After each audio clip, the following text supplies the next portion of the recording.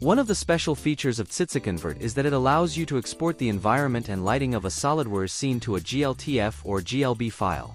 But first of all, let me quickly set the scene. First, let me add the desired HDRI environment using standard SolidWorks functionality.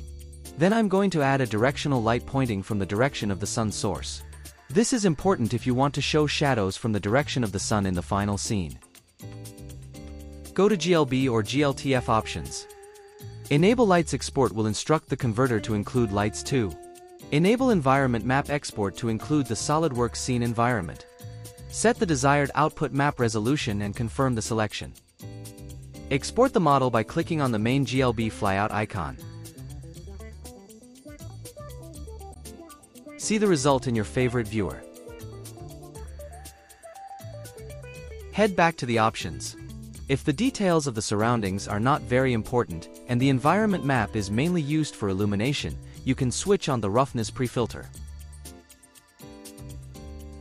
Once again, see the result of pre-filtered environment map in your favorite viewer. Thank you for your attention.